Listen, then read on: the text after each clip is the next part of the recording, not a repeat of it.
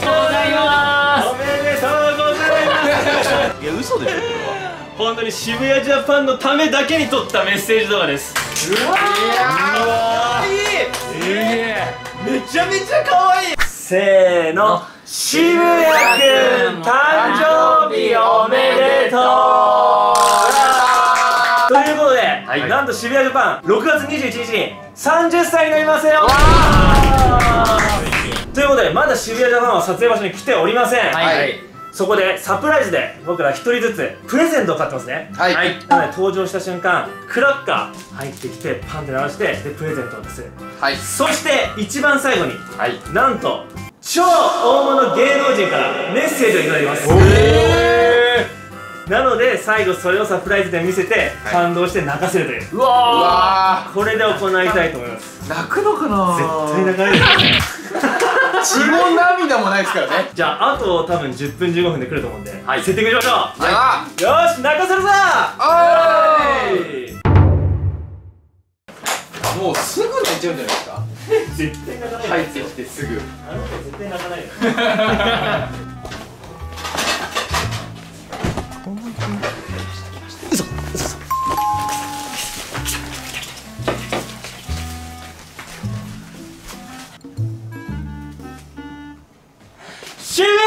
ハッピーバースデー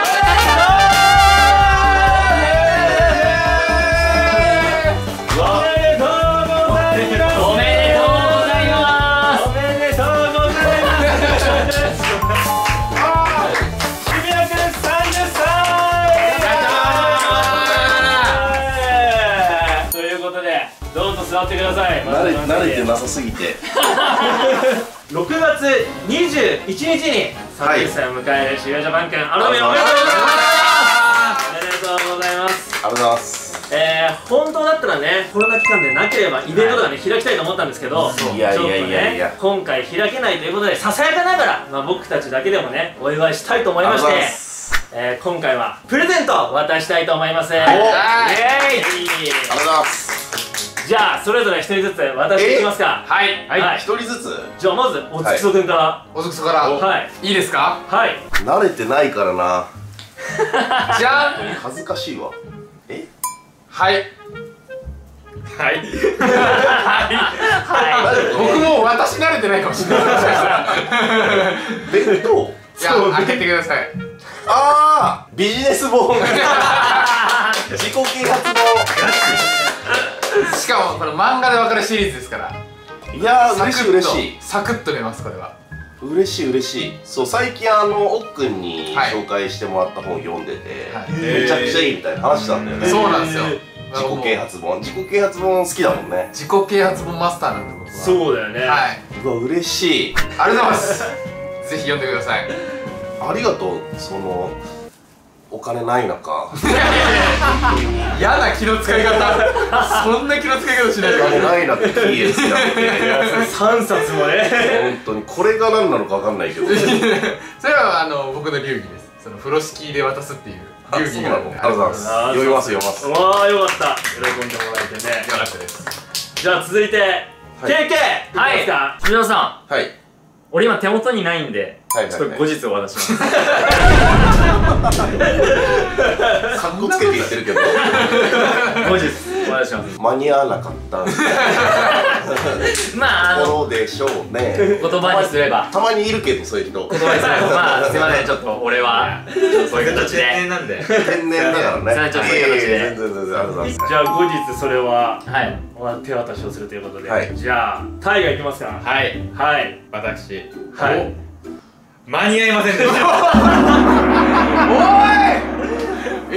嘘でしょ。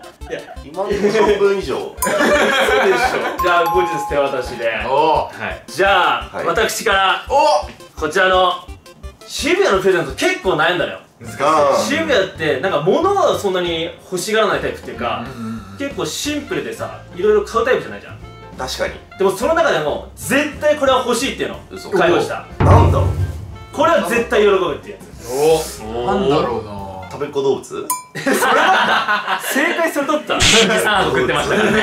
それ？じゃあちょっとあげてください、はいありがとうございます。あえー、ちょっとかぶってるやん。え？かぶってあるれいや本。あああいやいやいやいやいや。あー。後ろにあったじ後ろちょっとエロい。からえうわ足大立好由美さんの母親のゆりさんー、の。おお あとは足立由美これ最近のやつ？そうです。一番最新のやつ。ジャクさん足立由美さんの大ファンなんですよね。そうなんですよ。好きな芸能人そうって言われたらでなんかずっと俺はもうやっぱ顔がもうすごい綺麗だな。って、うん。はいはい。最近ちょっとブームになってるの足立由美さん結構 CM とかに出てるよね今。おー。単独ドラマみたいな。あやってますやってますね。はい、いやぜひ読んでほしいですね、うんじゃあちょっとケーキも食べてもらいましょうか。おお。はい。ハンバーグ師匠に怒られないかな。大丈夫ですよ。今でもちょこちょこなぜか俺のツイートリツイートしてくれる。あまだ続いてるんです。たまに。ありがたいですね。ありがたいありがたい。でもどうですか？30歳。どうなんだろうね。うん。どう？30歳は本当に体が一気に変わる。えどういうこと？胸が大きくなってくる。いやそのその成長期じゃないのよ。思春期。なんかね本当に20代とちょっと違うなってね思うのよ。はい。ありがとうございます。はいおめでとうございます。わうん。はい。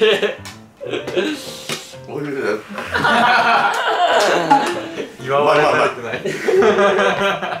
言われ慣れてないのよ。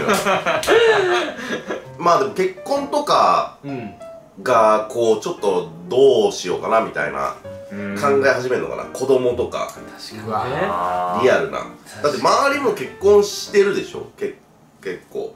そうだね。同年代は同年代は。やっぱ子供生まれてるちょこちょこ。いますね、うん、そこをリアルに考え始める年なのかなっていう？どうなんですか？お相手の方は？いや全然いないです。どうですか？皆さん。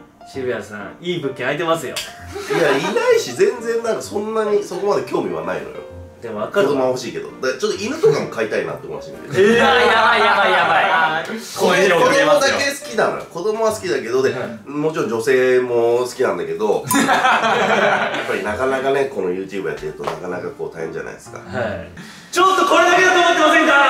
あもう持ってます。誕生日プレゼントこれだけだと思ってませんか？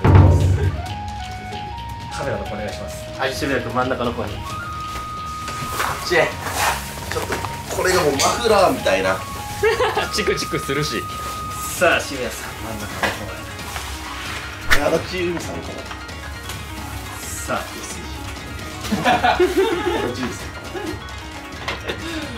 それではご覧いただきたいと思います。んはい。足立由美さんからメッセージです。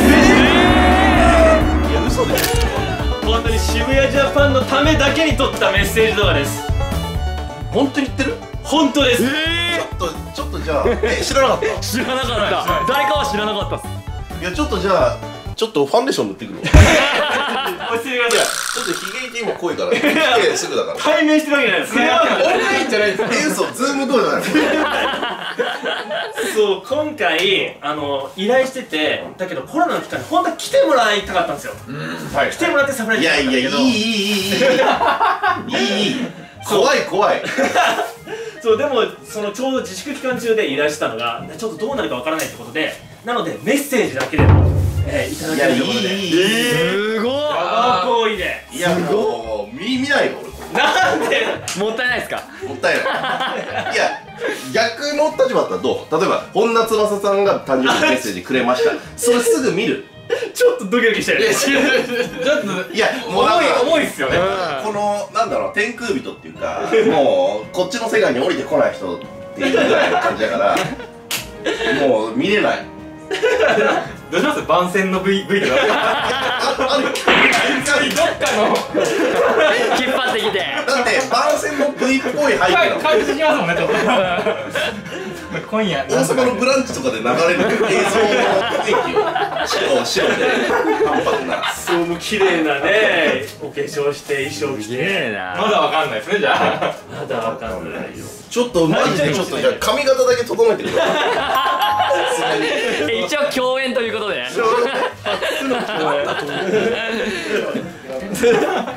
いやだから本当に好きなんだよねやっぱりね。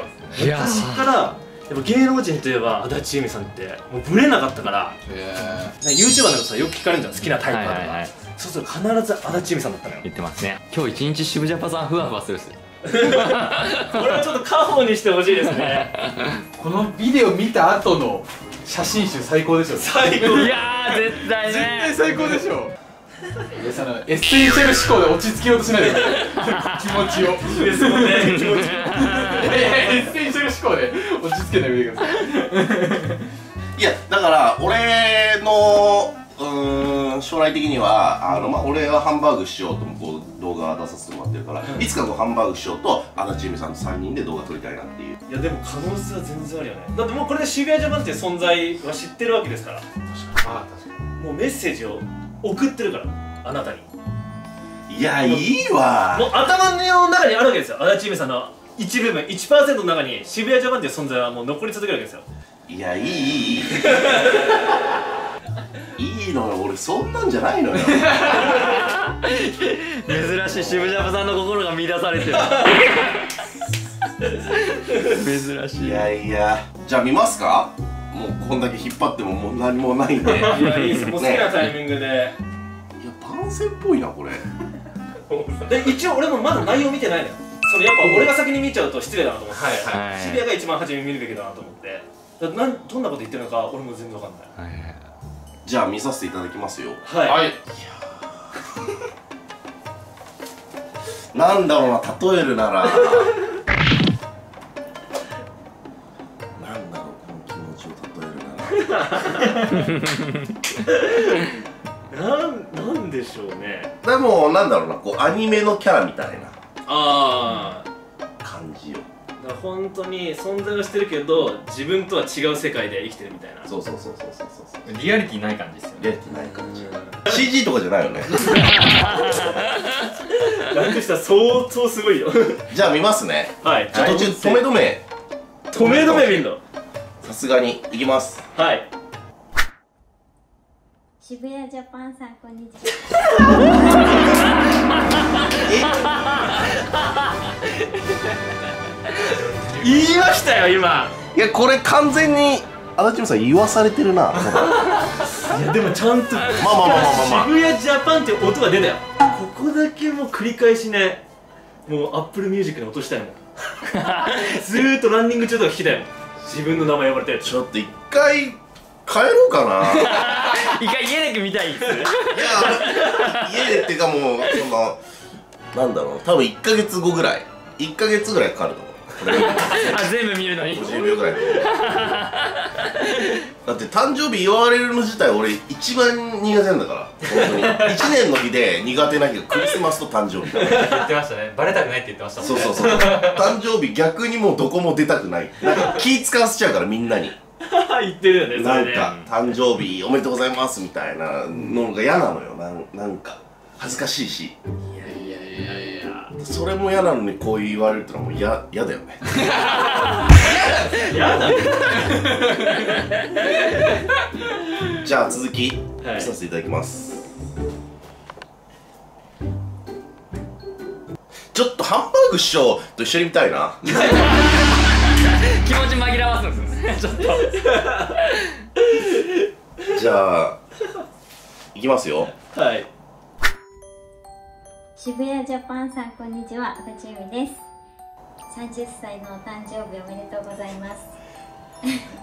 ありがとうございます。え ー何やら私のことを応援してくださっているということでぜひなんで？あのなんで届いたおの誕生日を迎えられる渋谷ジャパンさんにお祝いのメッセージをと思いまして子供がい後ろでただいて走ってるいます。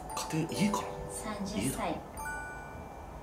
不思議ですね私も30代でちょっと体にガタもき始めました。体に気をつけてぜひまたこれからもはい。楽しい動画を作ってください、私も見てみます。